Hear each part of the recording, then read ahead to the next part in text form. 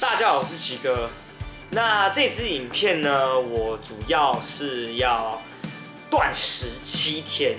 为什么我要断食七天呢？因为我在疫情爆发之后，我觉得因为常常待在家里，比较没有那么长时间的运动，让我的身体开始，我觉得排毒吗？应该说，我觉得变少了一点。然后其实不瞒各位说啊，我觉得这个讲出来不怕你们笑。就是我前阵子呢，我屁股有长了一颗痘痘，然后是那种会有点就是你要肿起来那种。然后我觉得哦没关系，就是很正常，因为我以前屁股也长过痘痘。但是后来大概消掉不到三天之后，它又长了一颗出来，然后是那种有脓头的，我就觉得很痛。我就发觉不知道是不是我运动量变少了，然后比较少排汗，然后因为疫情在家嘛。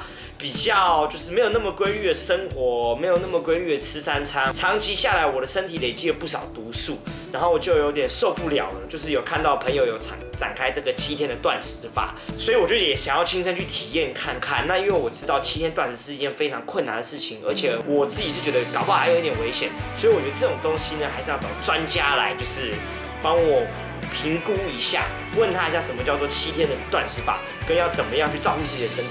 Let's go。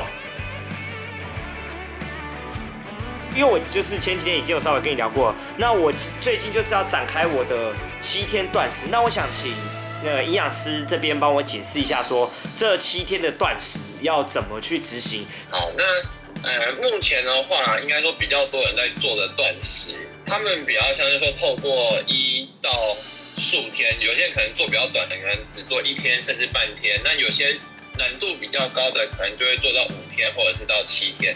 那就是透过这种七天的断食的方法，然后去让自己的消化系统减少摄取一些食物，让自己的消化器官可以去休息一下。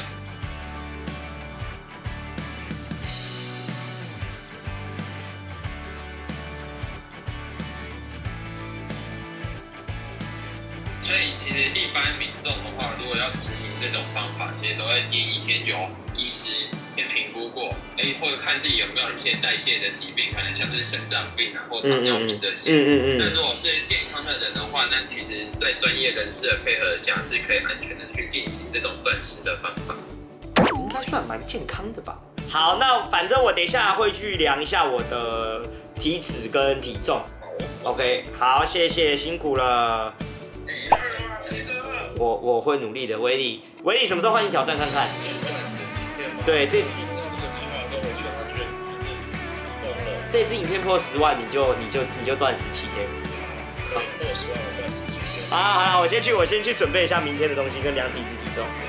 OK，好好，谢谢你们，拜拜。我的体重是五十七点二，体脂是十四趴，内脏脂肪四点五，基础代谢一千四百三十四。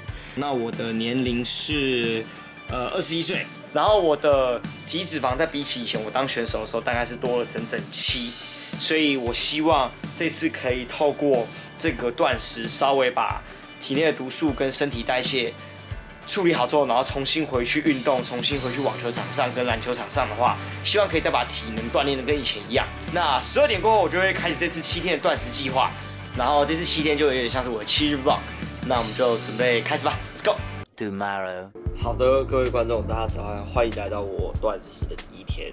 那昨天有说，今天的断食是尽量摄取你平常食量的一半。我觉得如果我还是打算吃，就是健康一点。那我想说，早餐如果吃健康一点的话，我就想说吃个两个水煮蛋，再加一点现切的水果。好的，这是我的早餐跟我的水果，这是我今天健康一餐。天哪，好怀念卡拉鸡腿堡。好的，各位，然后现在吃完了早餐，然后刚刚跟彭尊还有我们经纪人开了大概一个小时的会。第一天对我来说，其实啊，身体没有太大的改变，毕竟才刚开始。我今天只在减少自己的饮食量。我觉得可能比较有感的会是明天只能摄取五百大卡的时候，那就没有办法三餐正常吃。好啦，那我们就准备休息一下。哎呀，好的，各位，我回来了。那我买的晚餐呢？除了刚刚我有买一个豆浆，已经拿去冰箱冰了。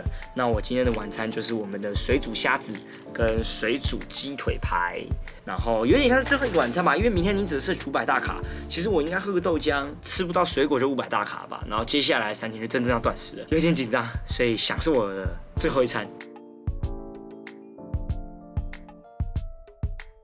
好，各位，我晚餐已经做好，那就是这边我的鸡肉跟虾子。然后这鸡肉跟虾子其实呃很简单，把开水煮开，把东西放进去，就是我的非常简单的晚餐。我今天其实，在过程中我肚子真的一度有很饿，在我开完会在打电动的时候，我就很想要吃零食。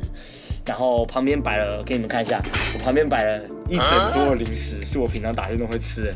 我等一下要把它们全部清出我的房间，准备开始晚餐。呃，因为其实我本身是一个蛮爱吃海鲜的人，而且不瞒各位说，其实我剥虾技术也是非常厉害的。想要我剥虾给你吃吗？欢迎订阅我的频道，追踪我们的 IG，我们抽出一位观众，我剥虾给你吃。OK，各位，现在来到了我们第一天的十点钟，然后算是第一天，但我觉得我每天都还是要验一下我自己的体重、体脂。好的，各位，这是我第二天的体重数据，我的体重是五十，我就五十六点七，体脂肪十六点九，然后我的基础代谢是一四一四，年龄是二十二。好，那我现在来跟那个吴医师讲一下，吴营养师这边讲一下我今天的身体变化。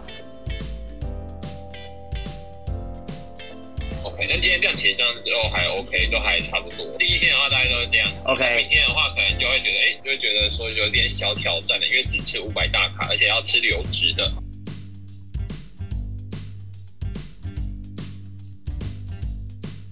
那刚刚就是我跟医师的通话，呃，明天应该就是会更艰难一点，一天应该会比一天更艰难吧。但是呃，礼拜五要进公司，达拉已经跟我放话说他要在我前面吃甜甜圈了，到时候看我这怎么好好惩罚他。Day two. 各位大家早安，今天是我断食的第二天，呃，睡觉前有还蛮明显的感觉到我的肚子很饿，可能前一阵子的生活作息是吃宵夜，这个时候是吃宵夜，我的身体始终告诉我要吃东西，所以我就很饿很痛苦。昨天讲我今天就是要去只能喝香蕉牛奶，那我觉得香蕉牛奶还好，是因为因为香蕉的饱足感其实也蛮够。好的，各位，那现在时间是晚上了，我刚刚又再度量了一下我的体重、体脂。那我今天的体重呢掉到了五十六公斤，体脂肪是十四点一，基础代谢一四一三，年龄是二十，基本上没有什么太大的不一样，主要是体重掉了比较多。那我觉得体脂比较不固定，是有可能是因为我的肌肉量在掉。Hello Hello，听得到吗？嗯，有有声音。好啊，那你有什么状况跟我说？OK，好，谢谢，辛苦了。OK，各位，那以上就是我今天第二天一整天的过程。因为今天其实没有什么太多的事情要做，所以呃内容会比较少。那我们就前进第三天吧。Day three. 大家早安，今天来到我第三天的早上。昨天晚上跟吴医师讲完之后，我一早起床就量了我的体重，五十五点二公斤，体脂肪十四点三，基础代谢一三九九，年龄十九。然后我们那个该死的达拉，他跟我说他今天在公司订了炸鸡跟披萨，所以我们今天去公司办公的时候，他在我前面吃饭。好，我们进公司吧。呀，达拉，我好饿哦！天哪，太过分了吧！太过分了吧！我靠！我跑了两家哎、我靠你！要不要带一包回去？带一包回去什么？看哦，是不是？看哦，拜托我不会吃东西耶。啊，你现在吃什么？麻辣锅，你是不是想把我杀了？哦，好香哦！天哪！我已经是戴着口罩，那个麻辣的香味还是直接扑到我的脸上。天哪，太过分了吧！这个人先吃了 Fred 的炸鸡，吃了麻辣锅，现在又给我叫炸鸡，韩式炸鸡。金针菇推荐。好啦，节食结束，开吃。最 好 OK，各位，现在时间又到了晚上的十点钟，呃，是时候每天跟吴医师、营养师回报我今天的身体状况。喂喂喂喂，听得到吗？嘿，Hello。我快饿，我快饿死了。今天的总结，我真的快饿死了。对，好的，各位，那以上就是我断食的第三天，希望呃明天我一样能够坚持住。Day four. 好的，各位大家早安，现在来到了第四天早上，然后我刚刚已经量完我的体重跟体脂，给大家看一下，五十四点七，体脂十一点九，然后那个基础代谢一三九九，年龄变成十八。好啦，第四天我们一样用意志力把它撑过去。好，各位，现在又到了晚上十点的时间，然后因为今天我没有做太多的事情，因为我觉得应该是因为我断食第二天的原因，我的身体有点累，我打电话打一打就会有点累这样，然后我们等一下来跟吴营养师报告一下这件事情。Hello Hello，Hello，我快饿死了。对，好的，各位，以上呢就是我第四天的断食，意志力吧，意志力很坚强。其实我中间有一度一两次就是想说，要不要就跟大家讲说啊，我真的是对不起你们，我开始吃东西了。我明天也有可能会这样子，但我希望意志力可以帮我 hold 住。好啦，那就第五天吧，Let's go。What's up everyone？大家早安。呃，现在来到第五天早上，然后我已经量完我的身高体重，我的体重是五十四点五，体脂十二点七，然后基础代谢一三九三，年龄十八。那我觉得相较之下呢，体重是大概差不多的，有可能是因为我睡觉前喝蛮多水的，然后刚刚起来也有喝一点。比起我第一天还是瘦了快三公斤，其实我有点吓到。呃，我的身体在今天是感觉更轻了一点，虽然说是真的很饿，会想要放弃这个东西，但我觉得这时候能撑过去才会是自己的这样。好的，各位，现在时间是我们的晚上十点，大概就是我们第五天的晚上。然后我现在准备要打电话给呃吴营养师，稍微讲一下我的身体状况跟今天一整天的断食。Hello，我终于撑过最后一天全断食了。很痛苦，对不对？呃，应该说，我觉得今天的饥饿感是最强的一天，然后我可以不断的感受到我的胃在一直蠕动，就是没有什么力气去做别的事情。呃，这几天呢，我有好好去规划一下，就是我接下来，呃，哎，我发觉你们有没有觉得我我我讲话会这样？其实我这样是有点像到彭真。感受到他们用心。其实我也知道他们的新闻稿，就是被身边的朋友影响。就是接下来呢，我会规划很多我想要去吃的东西，那我也有想要把它拍成 vlog，就是在我节食完、断食完之后，到时候大家可以期待一下。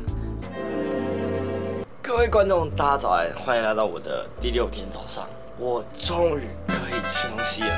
但是在吃东西之前呢，还是要先量一下我的体重跟体脂。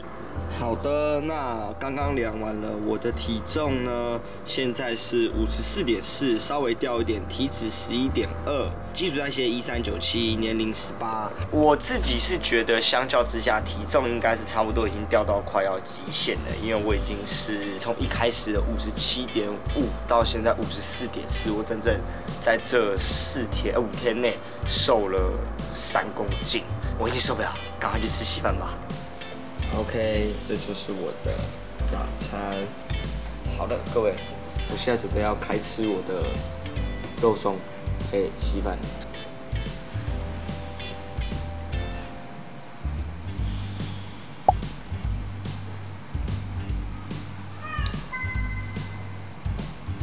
哇，我觉得有差，可能太久没吃东西了，所以你对于味道、食物的味道就非常的敏感。What's up, everyone？然后在刚刚早上吃完我的稀饭之后呢，今天的精神一直都还不错。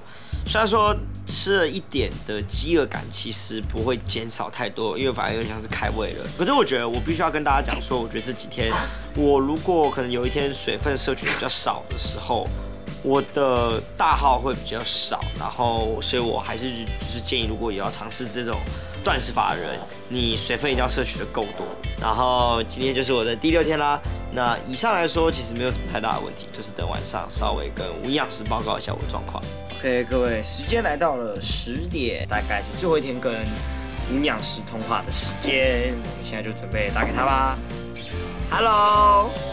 哦，我要跟你分享我今天早上吃到稀饭的第一口瞬间那个口感，我不夸张，因为我加一点海苔肉松嘛，我吃下去的那个瞬间，我的嘴巴可以分分别得出海苔味、肉松味跟稀饭的味道，这三个味道我能够超明显的感觉得出来，哇，太好吃，那是我这辈子吃过最好吃的稀饭。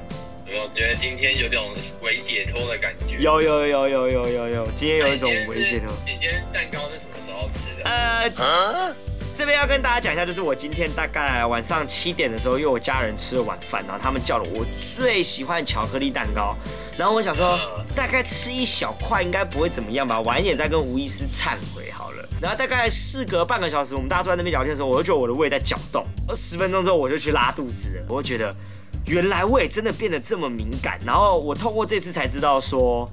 真的逐渐复食的重要性。我觉得这次的断食让我身体改变最大是，我今天一起床我就很想要去吃那个稀饭，然后到了大概晚餐时间，我也就马上想要去吃晚饭。就比起前一阵子会有一种不想吃不想吃的感觉，现在完全不会，就有可以感觉到我的生活作息跟饮食习惯有被调整了。之后可能恢复正常饮食之后，你可能这部分的习惯也是想办法要继续维持下去。就是你明天的总量，记得就是你日日常生活中摄取的一半的量。好，好，好，好，好，没问题。我如果有拉肚子，我再打电话给你。OK，好，谢谢。那我明天再跟你联络。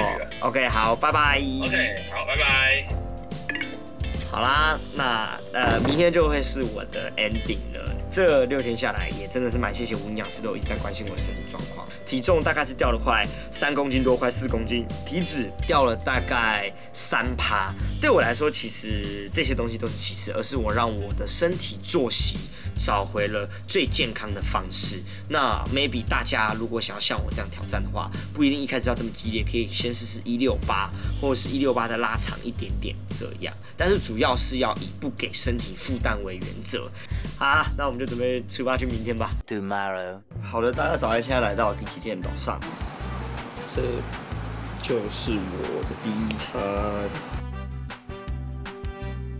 然后各位现在来到了十二点，就是本来是说晚上要吃那个生鱼片冻，但是因为我真的受不了，所以我提早叫给你们大家看一下，就是这个，这个它是那种夏威夷的 poke bowl，这边是尾鱼，这边是鲑鱼，然后呃这边是应该是葱花尾鱼的概念这样。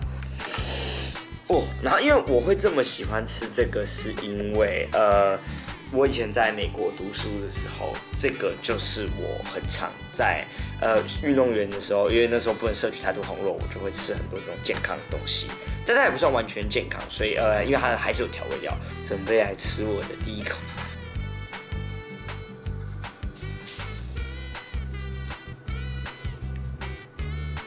哦，这这个好吃哎，这家真的好吃，还有一点微微的辣辣的感觉，应该是那个酱料的感觉。然后它下面是，